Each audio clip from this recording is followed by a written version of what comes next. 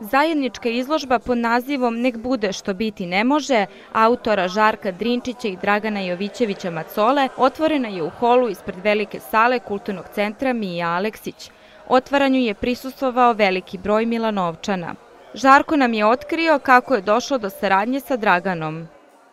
Spojeno se taj zajednički osjećaj posmatranja toga šta mi radimo i kako gledamo na svet. I to je to. Jednostavno upoznali smo se davnih dana na koloniji i malo po malo čuli se i krećemo. I sad smo tu izložili jedan rad koji će predstavljati budućnost naše saradnje ovaj tu u, u centru i to, to mi je drago da radim sa jednim takvim umetnikom ne bih radio, verujte mi, znači to, sam, to sam rekao i njemu lično.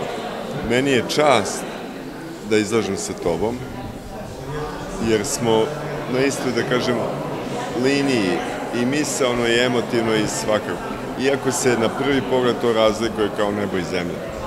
Ali evo, sad smo spojili svoje radove, vidjet ćete u onom radu, crteže skulpture. Tako da ono, radujem se uvek i zanimljivo je, izazovno je.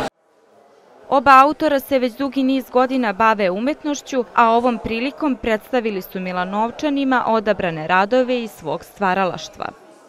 Žarko se ja znamo dugi niz godina i bili smo zajedno na, tako da kažem, ne volim tu reč kolonija, neki simpozimi na tari i ovo, ono.